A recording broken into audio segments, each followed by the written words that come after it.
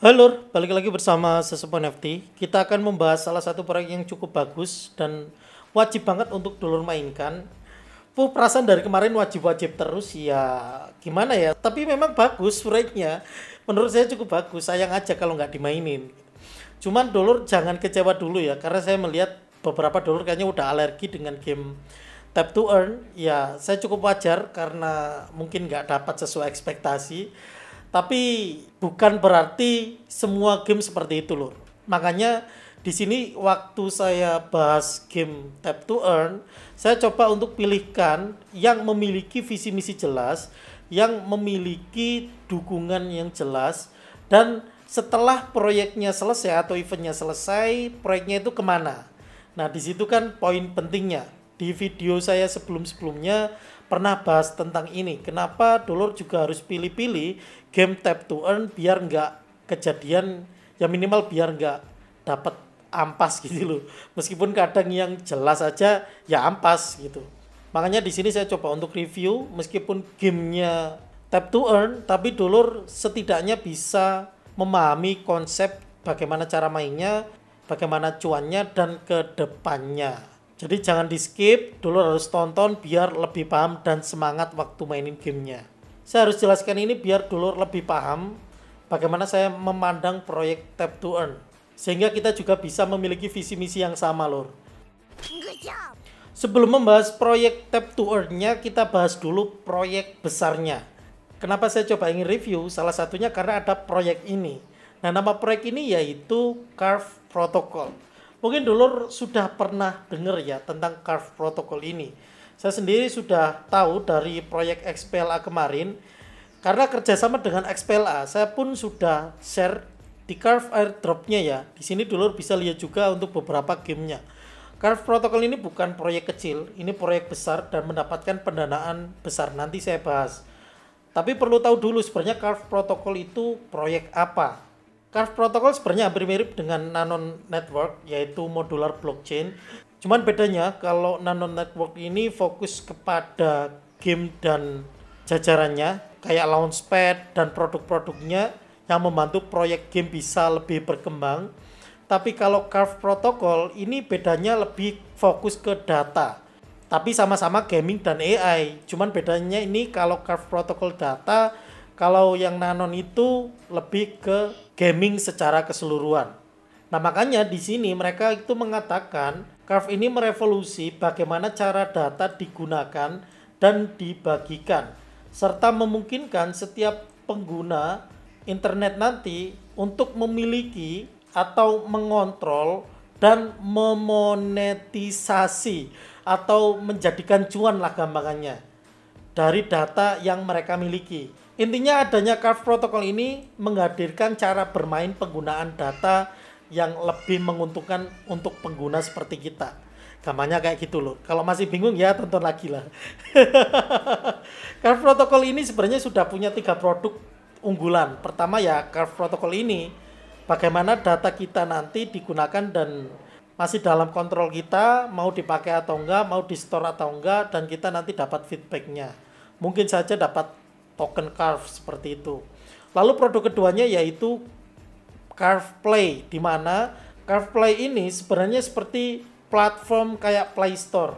Dolor bisa menemukan berbagai banyak game dari berbagai genre yang Dolor bisa mainkan sesuai dengan yang Dolor cari. Lalu yang ketiga adalah agent AI Carve. Sayangnya saya belum nemu websitenya mungkin masih dikembangkan, tapi walaupun begitu dari dua produk ini aja kita sudah melihat pandangan bagaimana Carve Protocol ini bekerja. Ya lah bang, kayak apa aja bekerja. Oke kita lanjut lur ke pendanaan ya biar lebih menarik. Carve Protocol ini mendapatkan pendanaan total fundingnya ini funding atau funding ya, sekitar 50 juta USD. Kalau kita bandingkan dengan Pixel First kemarin yang di bawah 20 USD, sorry 20 juta USD, Carve Protocol ini mendapatkan total pendanaan 50 juta USD. Ini gede banget loh. 5 jutanya ini dari early investor, 10 jutanya ini di seri A dan 30 juta 35 jutanya ini dari node cells. Node cells ini kalau dulur paham kayak Town Square kemarin tuh yang saya beli nodenya ya. Kenapa saya beli node ya memang kadang ada proyek yang jualan node itu. Nah ini investor belakangnya juga gede-gede, angel investornya juga ada ya. Ada nama-nama besar, proyek besar yang mendukung proyek Curve Protocol. Nanti linknya akan saya masukkan di deskripsi biar mungkin dulur bisa lebih tahu dan lebih dekat mengenal Curve Protocol. Sekarang kita coba bahas tentang proyek yang didukung oleh Curve Protocol yaitu Banana Game. Proyek ini cukup gampang dimainkan dan wajib banget untuk masuk daftar game Telegram yang wajib dimainin. Alasannya sederhana, proyek ini didukung oleh Curve Protocol. Makanya tadi saya bahas Curve Protocol dulu biar lebih paham. Setelah itu kita melihat proyek yang didukung yaitu Banana Game. Nah, Banana Game ini mainnya sederhana banget Dulur nanti tinggal klik linknya di kolom deskripsi.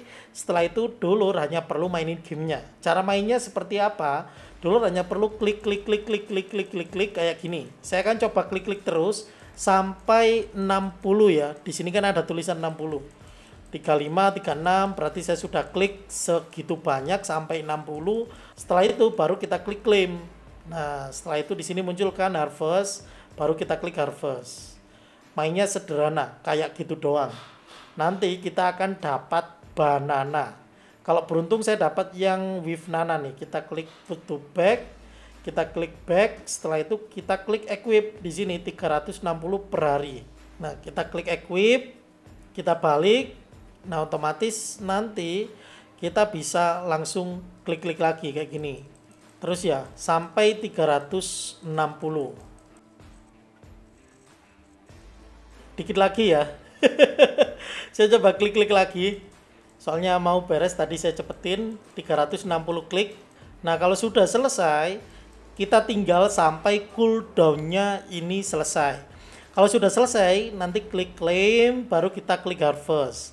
Nanti kita akan dapat pills P E E L S. Jadi kayak ampas pisang gitu ya. Nah ampas pisang ini nantinya harus kita kumpulkan nanti kan bisa kita jual juga ya banana ini yang kita dapatkan dijual untuk jadi pills atau USDT. Nah, di sini dulur harus terus klaim agar nanti dulur bisa dapat banana atau pisang yang bagus. Contoh pisang yang bagus itu kayak yang ini nih, Magnana. Kalau dijual dapat 950 pills sama 10 USDT. Jadi di sini kita itu bisa dapat USDT bukan hanya Magnana ya, Volcanana, Nana Onroid, masih banyak lagi jenis-jenis pisang yang dulu harus kumpulin. Kalau beruntung ya dapat yang ini ya 0,01 lumayan tuh. Atau 0,4 atau 1 USD, tapi pasti agak susah ya. Dapat 0,01 aja udah syukur alhamdulillah. gitu loh. Nah, ngekliknya ya sama, prosesnya kayak gitu tadi. Setelah itu di sini ada tas atau tugas yang harus dulur selesaikan agar dapat banyak pills termasuk bind your wallet, carve post, repost. Saya coba untuk yang bind ID ini ya. Kita klik di sini nanti akan diarahkan ke website produk Carve yang tadi saya jelaskan di awal. Please enter your email address to continue. Nah, seperti ini kita klik send kode lalu cek email dapat kode kita copy lalu kita balik kita pasti verify. Connect ke banana akun carve-nya nggak masalah. Klik authorize. Nah kayak gitu doang ya. Nanti kita diarahkan otomatis ke telegram kalau sudah klik claim. Otomatis nanti dapat pills-nya. Kita masukkan email. Kita paste sukses. Kita klaim Nah ini dulu juga bisa download CarvePlay ya di Android nih. Nanti dulu bisa download, bisa cek-cek game di sana juga. Nanti kalau dulu nemu game yang bagus, puh review game ini di CarvePlay. Tinggal bilang aja nanti di kolom komentar. Nanti harus saya cek dulu ya. Join announcement Telegram, kita join. Nah, setelah join tinggal klik claim. Setelah tiga tugas, nanti dulur bisa dapat satu banana gratis. Kita klaim, kita cek home, dapat banana apa nih? Saya coba klaim di sini. Nah di sini ternyata ya nggak kelihatan. Kayaknya ada bug. Lalu kita harvest ada dua. Saya coba buka. Dapat pisang apa? Unrip. Yang bagus itu yang background gitu ya. Kita coba cek. Nah ini nih dapatnya. Playful nana. Dapat 300 pills lalu 0,01 USDT nah kalau pisang ini nanti kita jual dapat USDT 0,01 sama dapat pills itu lur. Kita equip ya yang paling bagus. Nah lalu kita tinggal main aja klik-klik doang kayak gini. Sampai 600 gitu ya. Prosesnya kayak gitu. Sama kayak yang tadi. Harus klik-klik terus kayak gini sampai 600 nanti tunggu klaim sama di harvest. Lalu kita cari pil sebanyak-banyaknya dan juga cari banana yang paling bagus. Saya akan coba jual ya untuk biar dolar lebih yakin di sini kita juga di sini saya coba jual satu playful nana saya punya satu kalau punya dua berarti bisa jual dua saya coba jual Nah, dapat 0,01 USDT. Plus nanti dapat pills juga. Di sini dulu harus pahami, pills ini nanti bisa ditukarkan untuk jadi token. Nah, tokennya apa? Saya kurang tahu lur. Nanti kita tunggu ya update-nya. Dan ada kemungkinan juga bisa dapat token carve. Untuk rate-nya berapa? Masih belum jelas. Intinya cara mainnya seperti itu, dulur juga bisa dapat USDT dengan menjual banananya kalau dapat bagus ya tapi kalau punya satu sebenarnya jangan dijual sayang. Soalnya bisa dapat pills lebih banyak dalam sehari.